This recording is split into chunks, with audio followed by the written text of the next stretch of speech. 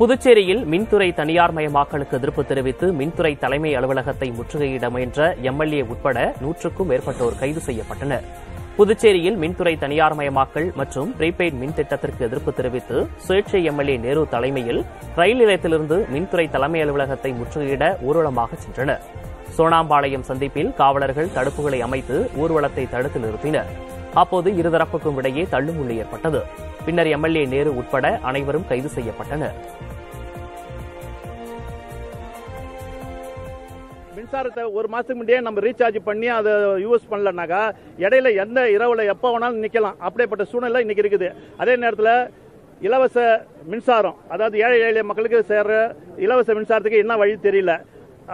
விவசாயிக்கு கொடுக்குற மின்சாரம் இலவச மின்சாரம் அதுக்கு என்னன்னு தெரியல.